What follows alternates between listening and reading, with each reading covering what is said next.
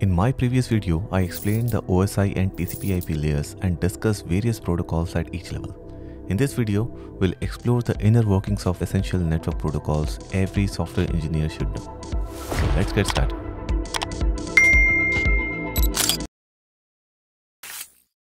Every device on the internet has a unique IP address, kind of like a street address or phone number. Internet Protocol or IP is a fundamental protocol and there are two main types. IPv4 and IPv6. IPv4 is the older system that uses four sets of numbers. For example, 192.168.1.1. It's like a limited set of addresses for a growing city. IPv6 is the newer system and uses a much longer combination of letters and numbers, ensuring we'd never run out. So when you send something online, like an email or video, your data gets broken into smaller chunks called packets. Each packet has the sender IP address, like a return address on an envelope, the receiver's IP address, which is like the destination address on the envelope, a piece of your data, like a page from a book, and instructions on how to put the pieces back together. Routers are like traffic cops at intersections. They look at the destination IP address on each packet and decide the best route to send it on. This might involve sending it through multiple routers before it reaches the destination. So, putting it all together, your device creates packets with the destination IP address. Routers, they guide the packets through the internet and the destination device receives the packets and reassembles them into the original data such as your email or video. Now, IP doesn't establish a direct connection between devices. It's more like sending individual postcards than making a phone call. Think of IP like the postal system. Just as letter needs an address to reach its recipient, each data packet needs an IP address to find its way across the internet. IP is the foundation of internet. It allows devices all over the world to communicate with each other regardless of their type or location. IP tries its best to deliver packets, but it doesn't guarantee that they will arrive in order or at all. This is why we have other protocols like TCP to ensure reliable delivery. TCP or Transmission Control Protocol is responsible for ensuring reliable data transmission. Imagine you're sending a fragile package across the country. You wouldn't just toss it in the email and hope for the best, right? You would want to make sure it arrives in one piece and in the right order. That's where TCP comes in. It breaks data into smaller packets, sends them to the destination, and reassembles them in the correct order. It's like the reliable mailman of the internet who guarantees delivery and makes sure all parts of message arrive intact. So before sending any data, TCP establish a connection between the sender and receiver. This is like the mailman knocking on the door to make sure someone is home to accept the package. It's a two-way conversation where both devices agree on the terms of the delivery. And just like a book, TCP divides your data like a file or web page into smaller packets. Each packet gets a number, like a page number, so the receiving device knows how to put them back in order and every time the receiver gets a packet, it sends a message back to the sender saying got it. This is called an acknowledgement. If the sender doesn't get an acknowledgement, it knows to resend the packet. TCP includes error checking to make sure the data arrives intact. It can detect if any packets are lost, corrupted or out of order and it will request the sender to resend those specific packets. TCP also helps manage the speed of data transfer. It can tell the sender to slow down if the receiver is getting overwhelmed ensuring a smooth and efficient delivery. Once all data is successfully delivered, the connection is closed. TCP is crucial for web applications where reliable delivery is essential, like web browsing, email, or file transfers. So, TCP is the internet's reliable mailman, ensuring your data arrives safely and in the correct order. But what if speed is more important than absolute accuracy? What if you're okay with few dropped letters here and there as long as the message gets across quickly? That is where another protocol UDP comes into the spotlight.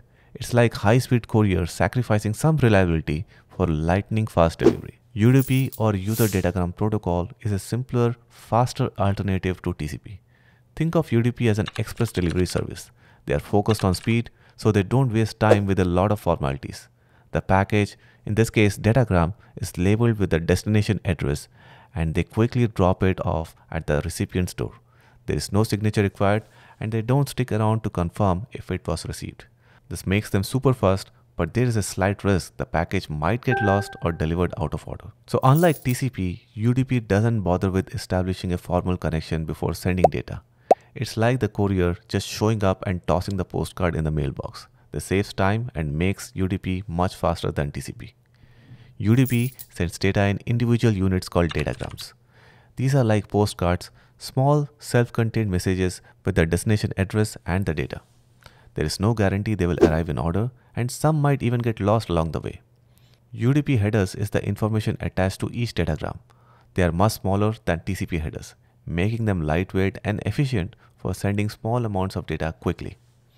UDP doesn't offer any fancy error checking or retransmission of lost data. It's a fire and forget protocol, meaning it sends the datagrams and hopes for the best. This makes it super efficient for applications where speed is more important than perfect accuracy.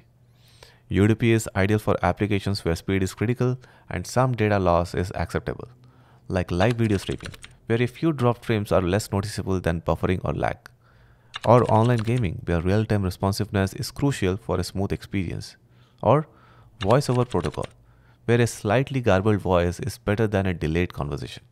So, we have seen how UDP sacrifices reliability for speed, making it ideal for time-sensitive applications like live video and gaming. TCP on the other hand prioritizes accuracy and is used for applications where every bit of data matters, like emails and file transfers. But what about the backbone of the internet itself, the World Wide Web? How does your browser actually fetch and display web pages? That is where HTTP or Hypertext Transfer Protocol steps in. HTTP is the foundation of web traffic. Think of HTTP as the language your browser uses to talk to the web servers, the powerful computers that store websites. It enables the transfer of web pages and other resources from a server to a client, typically a web browser. HTTP works on simple request response model, like a conversation. You type a website address and your browser sends a request to the server hosting that website. The request says, hey, can I see the web page? The server looks for the requested web page and sends it back to your browser as a response. The response might contain HTML, that is the code that structures the web pages, or images, videos, and other content. Your browser takes the response from the server and interprets the HTML to display the web page on your screen. Now do note that HTTP is stateless. That is, each HTTP request is independent with no memory of previous interaction. And this makes it simple but less efficient for certain tasks. Furthermore, HTTPS adds encryption for secure communication over the internet. Now I have done a deep dive on HTTPS in this video with simple examples, which will also help you to understand the purpose of security keys, various security strategies and algorithms. Now coming back to HTTP, HTTP also uses different methods or verbs to specify the type of request. GET, for example, is the most common method and it's used to retrieve information from a web server like a web page or an image. Similarly, POST is used to send data to a web server like when you want to fill out a form or upload a file.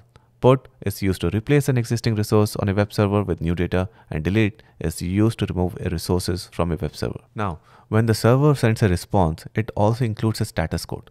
This is a three-digit number that tells your browser if the request was successful or not. And some common status codes you might be already aware or familiar to are 200 OK, 404 not found, or a 500 internal server error. HTTP is constantly evolving.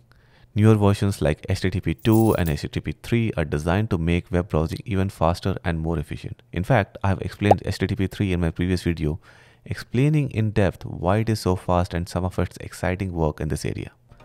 That will further solidify your understanding on this protocol.